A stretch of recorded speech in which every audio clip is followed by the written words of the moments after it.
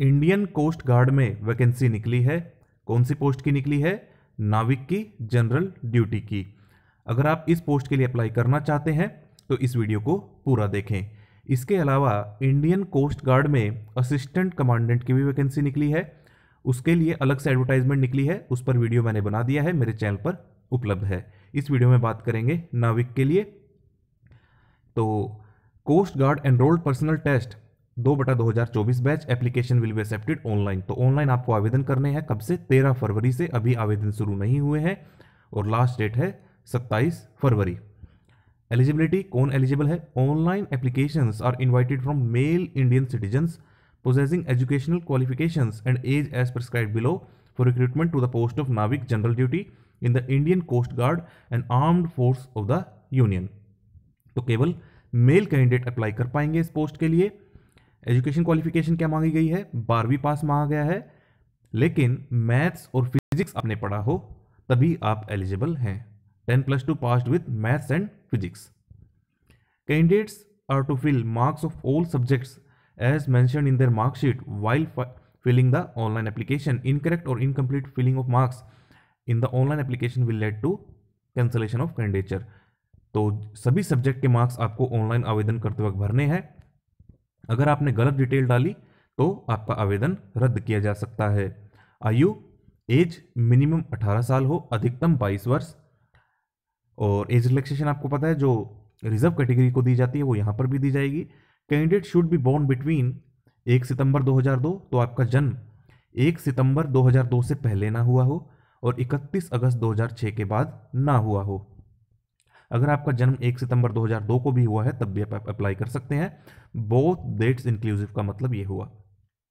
अच्छा एक नोट दिया है जो एज रिलैक्सेशन से संबंधित है। Upper age relaxation of five years for S C S T candidate तो अगर आप scheduled caste scheduled tribe candidate हैं तो आपकी जो अधिकतम एज है, वो बाईस प्लस पाँच कितनी हो गई? सत्ताईस। और अगर आप ओबीसी नॉन क्रीमिलियर से हैं तो आपके लिए हो गई पच्चीस, बाईस प्लस तीन, पच्चीस। Vacancy the tentative number of region zone wise and category wise vacancy for the post of नाविक इज़ एज फॉलोज तो रीजन देख लीजिए जोन देख लीजिए। नॉर्थ में उन्यासी वैकेंसी है वेस्ट में छियासठ नॉर्थ ईस्ट में अड़सठ ईस्ट में तैंतीस नॉर्थ वेस्ट में बारह और एंडमान एंड निकोबार में तीन। कुल हो गई 260 वैकेंसी कैटेगरी वाइज बाइफर्केशन आप देख लीजिए general E W S OBC SC और ST the details of area states covered under various region zone अच्छा। मान लीजिए अगर आपको पता करना है कि नॉर्थ में कौन कौन से तो वैसे तो आपको पता है, फिर भी आप नीचे देख सकते हैं, जैसे Jammu and Kashmir NCT of Delhi Haryana, Punjab, Rajasthan, UP, Himachal, Uttarakhand और चंडीगढ़ नॉर्थ में, इसी प्रकार। अगर हम पश्चिम की बात करें, वेस्ट, छत्तीसगढ़, महाराष्ट्र, केरल, मध्य प्रदेश, कर्नाटक, गोवा, दादर नगर, हवेली, दमन एंड दीव, लक्षद्वीप, ऐसे ही आप जो है, उत्तर पूर्व पूर्व और नॉर्थ वेस्ट एंडरमैन निकोबार में तो वही आएगा। तो नॉर्थ वेस्ट में गुजरात ईस्ट में, ऐसे आप सारे देख सकते हैं। दीज वैकेंसीज आर टेंटेटिव मैंने आपको बता दिया, बदलाव हो सकता है नंबर ऑफ़ वैकेंसीज में। Even if there is no vacancy reserve for reserve category मान लीजिए S C S T OBC EWS such candidate can still apply as reserve candidate ये तो मैं आपको हर वीडियो में बताता हूँ। अगर आप रिज़र्व कैटेगरी से हैं और मान लीजिए किसी भी एडवर्टाइजमेंट में रिज़र्व कैटेगरी की वैकेंसी नहीं निकली, सिर्फ़ जनरल की निकली है तो ऑब्वियसली बात है कि आप जनरल से अप्लाई कर पाएँगे। Such candidate will not be eligible for any age and passing marks concession relaxation. तो ऑब्वियसली बात, अगर आपके लिए रिज़र्व कैटेगरी के लिए वैकेंसी नहीं निकली है तो आप एज रिलैक्सेशन भी नहीं ले पाएँगे। और ना ही अगर फ़ीस में कोई एग्जामेशन है, वो भी नहीं ले पाएँगे, कोई भी मतलब बेनिफिट नहीं ले पाएँगे। सिलेक्शन प्रोसीजर क्या रहेगा? The selection of candidate is based on all India order of merit based on their performance तो ऑल ओवर इंडिया की एक मेरिट लिस्ट बनाई जाएगी किस आधार पर? जितने भी आपके एग्ज़ाम के स्टेजेस हैं stage one stage two three four जो भी मैं आपको नेक्स्ट पैरा में बताऊँगा। Meeting the laid down medical standard during medical examination and the number of vacancies available for the post. Clearing of 1 to 4 stage and satisfactory, satisfactory performance in training is compulsory for recruitment in Indian Coast Guard. All candidates will be compulsorily subjected to identity check prior commencement of the examination of stage itna the identity check will include verification match matching of all at all stages of selection procedure तो आपको देखिए सभी stage पास करने होंगे, plus आपको जो medical standard है, वो फिलफिल करना होगा। और आपकी एक जो है वेरिफिकेशन चेक भी होगी एग्जामिनेशन से पहले, वो कैसे होगी? Live image capture during registration. तो आपका एक जो लाइव इमेज कैप्चर किया जाएगा पीसी के द्वारा। The candidate has also to upload the latest photograph during registration. तो जब आप रजिस्टर करेंगे तो आपको एक लेटेस्ट फोटोग्राफ आपकी अपलोड करनी होगी। Additionally, live image of the candidate will be captured during the registration. और जब आप रजिस्ट्रेशन करवाएँगे तो आपका पीसी से ही लाइव फ़ोटो खींचा जाएगा, इसलिए आप ध्यान से बैठें ताकि आपका पूरा फेस विजिबल हो और एडुकेट लाइट हो कमरे में। The facial features of the candidate in the uploaded photo will be matched against the real time photo the candidate will be able to submit the application only in case of photo match अच्छा इस बात का आप ध्यान रखें। यहाँ पर देखिए कितना ज़बरदस्त तरीके से उन्होंने सॉफ्टवेयर तैयार किया है। लाइव फोटोग्राफ खींची जाएगी। और जो आप अपलोड करेंगे, दोनों मैच होगी, तभी आप आगे प्रोसीड कर पाएँगे। Moreover photograph of candidate in application form will be matched with facial features, physical appearance of the candidate at stage all.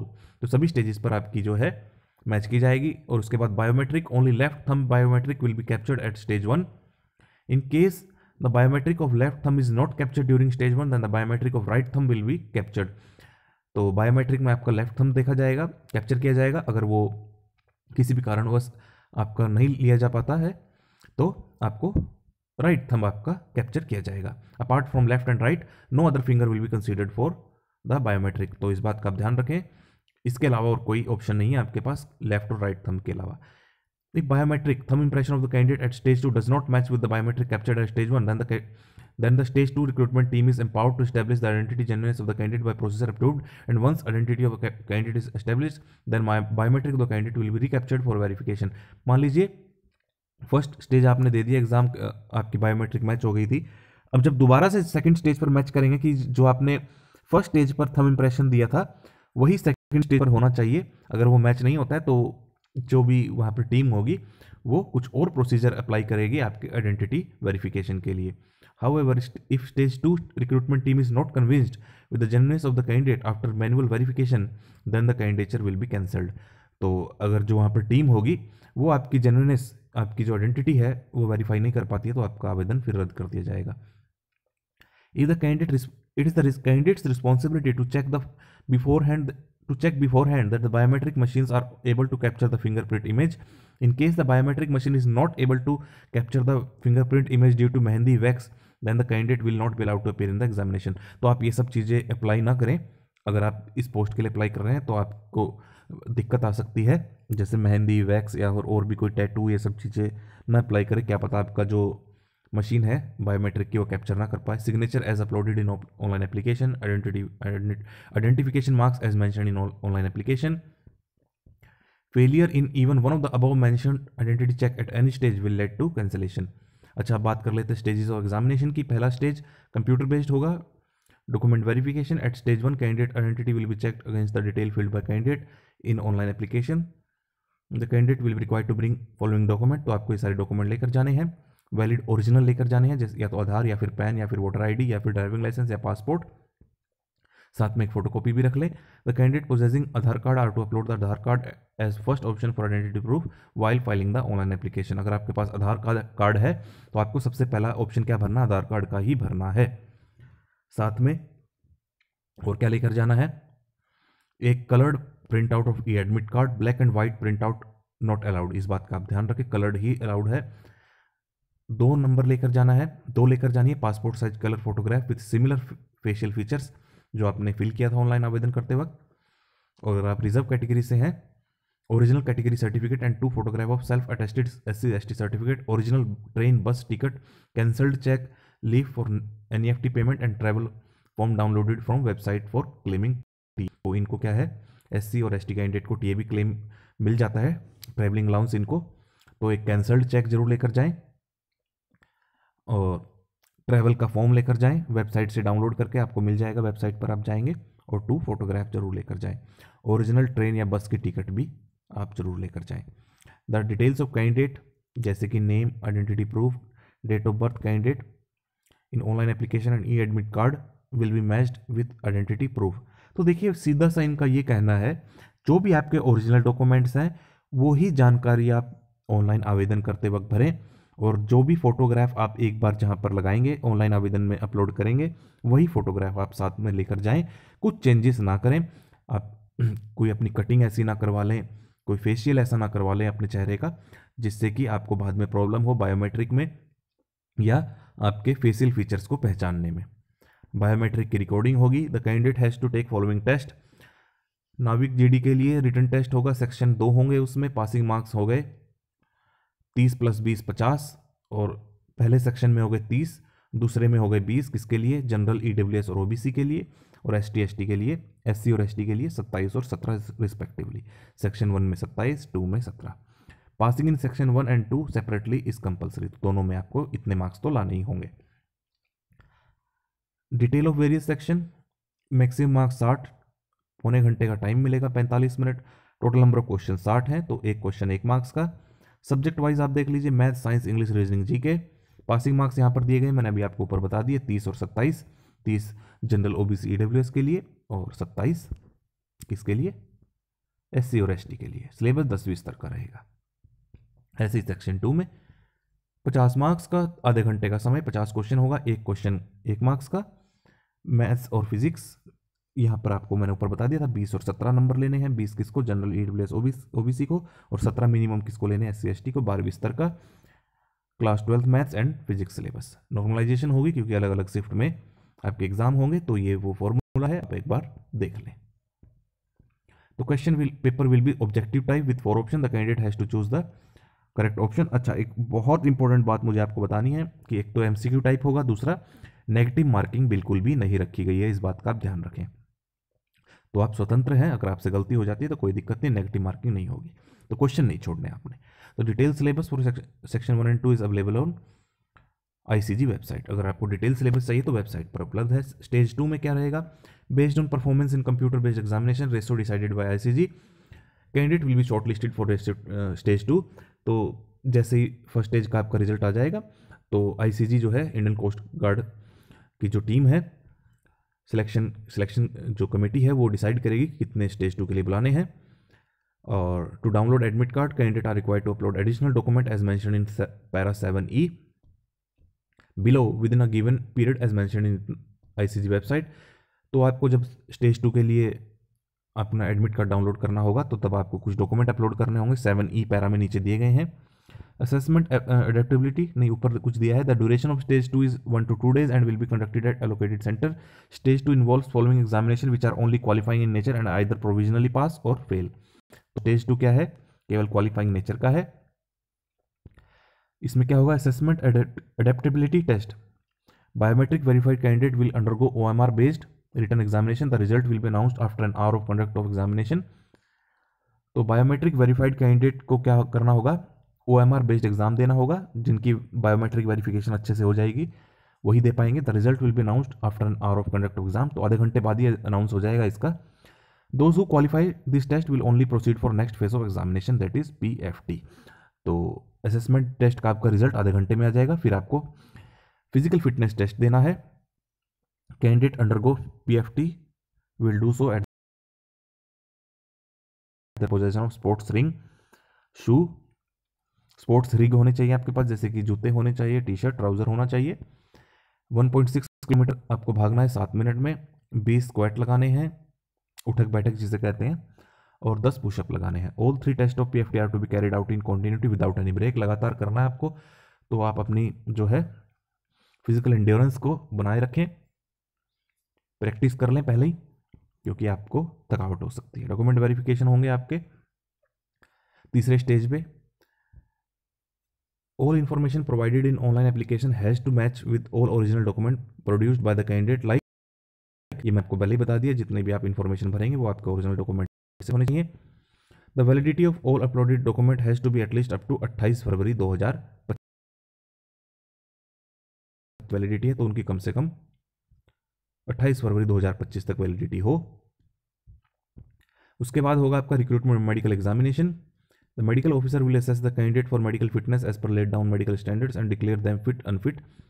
Candidate declare unfit who wish to appeal before who wish to appeal will be referred to any designated appeal medical center. अगर आप medically fit हैं और आपको reject कर दिया जाता है तो आप अपील कर पाएँगे such candidate are to report to the appeal medical centre within a minimum period of maximum period of twenty one days तो आपको इक्कीस दिन के अंदर अंदर आप अपील कर पाएँगे the schedule in conduct of recruitment medical में चेंज वो चेंज हो सकता है उसके बाद होगा preparation of final merit list for stage three stage three के बुलाने के लिए एक मेरिट लिस्ट बनाई जाएगी। ICG will carry out reverification of document submitted by candidate in the absence of candidate and only those candidate will be consider for merit document verification and declared fit तो तीसरे stage के लिए ICG खुद एक document verification करेगा, तभी आपको बुलाएगा। The tie breaking rule in case of two और मोर कैंडिडेट अगर बराबर नंबर आ जाते हैं तो क्या होगा? Candidate scoring more marks in section one, उसे प्राथमिकता दी जाएगी। अगर यहाँ पर भी टाई ब्रेक हो गया तो जो उम्र में ज़्यादा है, उसे प्राथमिकता दी जाएगी। अब आ गया आपका थर्ड स्टेज। जो पहला और दूसरा स्टेज पास करेगा, उसे थर्ड स्टेज के लिए बुलाया जाएगा। ड्यूरेशन कितनी रहेगी? एक से दो दिन आपके लग सकते हैं स्टेज पर। Further, as I N S Chilka is a naval training establishment, verification procedure at training base involve are applicable. Stage three involve stage three में क्या होगा? डॉक्यूमेंट वेरिफिकेशन होगी। और उसके बाद pre enrolment medical as I N S Chilka the pre enrolment medical examination of all selected candidate will be done at इतना the conduct of pre enrolment medical examination will depend on the time gap between recruitment medical examination conducted तो आपका यहाँ पर भी medical जाँच होगी। The schedule in conduct of pre enrolment medical में change वो चेंज हो सकता है, उसके बाद थर्ड क्या होगा? Submission of original document police verification other association forms उसके बाद आ जाता है आपका stage four the candidate undergoing training at I N are to submit all original document during stage three and verification of all original document through board university candidate will be terminated from service if document are reported as not genuine and verification of all original document through board will be carried out by तो अच्छा जो आप document जमा करवाएँगे, वो आपकी respective university को भेजकर जाँच करवाई जाएगी। अप्लाई कैसे करना है? सारी स्टेजेस मैंने आपको ऊपर बता दी। अप्लाई कैसे करना है? Join Indian coast guard dot C D A C dot in slash C G E P T यहाँ पर आप जाएँगे तो आप अप्लाई कर पाएँगे। आपके पास वैलिड मोबाइल नंबर हो ईमेल आईडी हो, और जो जो डॉक्यूमेंट इन्होंने कहे हैं, वो अपलोड कर देना। ये आपको फ़ोन नंबर दिए गए हैं दो, और एक ईमेल आईडी दी गई है। इस पर आप जो डी पॉइंट में आप देख सकते हैं यहाँ पर आप संपर्क कर सकते हैं अगर आपको कोई प्रॉब्लम आती है। जैसे जैसे इन्होंने कहा है, जौन से जौन से डॉक्यूमेंट इन्होंने कहे हैं, सही सही इन्फॉर्मेशन भरें, इन्होंने स्ट्रिक्टली कह दिया, अगर आपने कोई गलती करी तो आपका आवेदन रिजेक्ट कर दिया जाएगा। फ़ीस तीन सौ रुपये लगेगी। S C S T candidate exempt हैं, बाकी सबको तीन सौ रुपये देने हैं, ऑनलाइन आप पेमेंट कर पाएँगे। एग्जामिनेशन सिटीज़, यहाँ क्या लिखा है, टेंटेटिव शेड्यूल क्या रहेगा? स्टेज वन स्टेज टू का मई में और थर्ड स्टेज का अक्टूबर में। रिज़ल्ट डिक्लेरेशन आपकी वेबसाइट के माध्यम से आपको उपलब्ध हो जाएगा। लिस्ट ऑफ़ डॉक्यूमेंट रिक्वायर्ड ये मैं आपको ऊपर बता चुका हूँ, एक बार आप फिर से देख लें। ओरिजिनल डॉक्यूमेंट्स आपको सारे लेकर जाने हैं, प्राथमिकता आधार कार्ड को है। और जैसे जैसे इन्होंने कहे हैं, वैसे वैसे आपको अपलोड करने हैं। मेडिकल स्टैंडर्ड्स क्या रहेंगे आपके? हाइट एक सौ सत्तावन सेंटीमीटर कम से कम। हाइट स्टैंडर्ड में भी reduced by up to five centimetre for candidate having domicile of Assam Nagaland Mizoram Meghalaya Arunachal Manipur Tripura Garhwal Sikkim Andaman Nicobar island तो पाँच सेंटीमीटर की छूट है इन राज्य के, राज्यों के जो आवेदक करता है कैंडिडेट्स है हाइट स्टैंडर्ड में भी reduced up to two centimetre for having domicile of Lakshadweep Lakshadweep वालों के लिए दो सेंटीमीटर असम नागालैंड मिजोरम मेघालय वालों के लिए पाँच सेंटीमीटर बाकियों के लिए एक सौ सत्तावन. Chest it should be well proportionated minimum expansion पाँच सेंटीमीटर का रहेगा. Weight proportionate to height height के प्रोपोर्शनेट रहेगा. And age ten plus two plus and age जो देखिए वेट जो है आपका हाइट और एज के प्रोपोर्शनेट रहेगा. दस प्लस या दस माइनस हो सकता है. वो एक्सेप्टेबल है. हियरिंग नॉर्मल होनी चाहिए आपकी. Candidate are advise to get their ears cleared for wax and tartar remove from teeth prior to medical examination तो आप अपनी सफ़ाई करवा कर रखें. टैटू वैटू ये सब नहीं चलेगा। मैं आपको शुरू में कह दिया था, यहाँ तो मैंने आप पढ़ा है। Permanent body tattoo are not permitted on any part of the body ये सब पंगों में मत पड़ना मैं तो बल्कि आपको ये तक कह रहा हूँ कि मेहंदी मत लगाना इन्होंने ऊपर कह दिया था बायोमेट्रिक में दिक्कत आएगी। How certain concession are permitted to candidate belonging to tribal areas तो लेकिन ट्राइबल एरियाज़ में जहाँ पर उनका जो रिवाज है रीति रिवाज है, उनके तहत अगर वो लगवाते हैं तो कोई दिक्कत नहीं है। For other candidate permanent body tattoos are only permitted in inner face of forearms that is from inside of elbow to the wrist and on reverse side of dorsal side of hand बाकियों के लिए यहाँ पर allowed है। Training training यहाँ पर आप देख लेना ट्रेनिंग का ऐसा कुछ है नहीं। The basic training for Navik will commence tentatively in early mid September 2024 general guidelines आप एक बार पढ़ लें। नो क्रिमिनल केस और police investigation after lodging of F I R should be pending against the candidate ठीक है? इन सब चीज़ों का ध्यान रखें। No inquiry will be entertained after thirty December 2025 इस बैच के बाद, इस बैच के लिए, ठीक है? तो यहाँ पर मैंने आपको मेन मेन बातें बता दी हैं, फिर भी आप एक बार खुद से भी पढ़ लेना, हो सकता है कुछ छूट गया हो। वैसे तो मैंने पूरी कोशिश की है आपको हर एक बात बताने की। ट्रैवल एक्सपेंस जो एस सी कैंडिडेट को दिए जाते हैं, वो यहाँ पर दिए जाएँगे। ठीक है? S C candidate who are not employed by state central government ordinary second class fare इनको सेकेंड क्लास फेयर मिल जाएगा। By the shortest route if home station is beyond thirty kilometre अच्छा सैलरी की बात कर लेते सैलरी रह गई। बेसिक पे इक्कीस हज़ार रुपये मिलेगी। पे लेवल तीन। अच्छा अब ये मत समझना कि इक्कीस हज़ार सात सौ ही मिलेगी। इसके अलावा जो आपको डीए है, छियालीस परसेंट और प्लस कर दो। इसका इक्कीस सात सौ का आठ परसेंट या सोलह percent H R A plus कर दो। और अदर अलाउंसेस भी आपको दिए जाएँगे। Promotion and perks promotion prospect exist up to the rank of Pradhan Adhikari. तो देखिए, नाविक से आप प्रधान अधिकारी तक जा पाएँगे, जिसका पे लेवल सत्तालीस हज़ार छः सौ स्टार्टिंग बेसिक पे है प्लस सैंतालीस हज़ार छः सौ plus D H R A सारे अलाउंसेस अदर बेनिफिट्स भी आपको मिलेंगे, जैसे कि free ration and clothing as per existing rule free medical treatment अपने लिए, परिवार के लिए डिपेंडेंट पेरेंट्स के लिए सबके लिए, परिवार के लिए पैंतालीस दिन की ई e मिलेगी, आठ दिन का कैजुअल लीव मिलेगा हर साल।